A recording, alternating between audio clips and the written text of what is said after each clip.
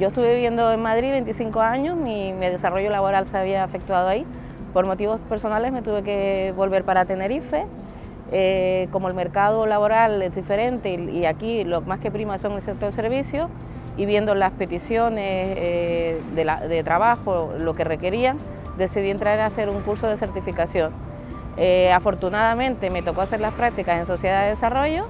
Una vez entré ahí conocí a gente estupenda que estaba en un proyecto de pasaporte al empleo. Tuve muchísima suerte porque la primera entrevista que hicieron era una empresa de servicio que, eh, relacionada con cruceros. Eh, yo estoy ahora mismo trabajando de auxiliar de servicio y en la primera entrevista tuve la fortuna de que me cogieron y empecé a trabajar enseguida. Yo lo recomiendo a todo el mundo que no hay que desanimarse porque tenemos una edad y pensamos que es complicado, pero, pero no es imposible. Y de hecho soy un ejemplo.